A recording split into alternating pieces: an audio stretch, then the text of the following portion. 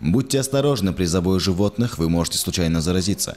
Сибирская язва может передаваться при контакте с домашними животными и при попадании зараженной почвы под посевы. В результате повреждается кожный слой и рана покрывается черным пятном и ослабляется чувствительность кожи. Эксперты предупреждают, что необходимо обеззараживать скот и их место обитания. В этом году жалоб на сибирскую язву в городе нет.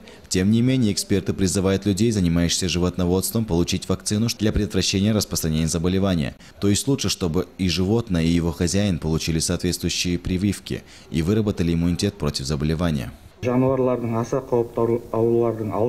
В целях профилактики опасных заболеваний животных на 2024 год запланировано около полутора миллиона прививок от 14 разных опасных заболеваний, более 240 тысяч диагностических исследований против 29 различных опасных заболеваний. Животных, умерших от сибирской язвы, нельзя хоронить самостоятельно. В этом случае необходимо обратиться к соответствующим специалистам, сжечь и уничтожить возбудителей. Если вы заметили в своем организме симптомы болезни, спешите не к лекарям, а к врачам, утверждают специалисты.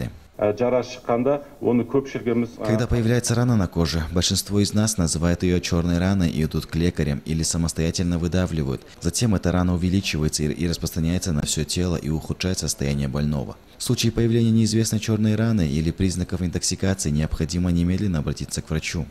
Нужно отметить, что территория скотомогильников, где были захоронены больные животные, должна быть огорожена, и земельные участки в радиусе одного километра не должны использоваться для любых целей. То есть на такой территории запрещено пасти скот и заниматься земледелием. Нургис Абдижалелов, Диана Блязис, Новости.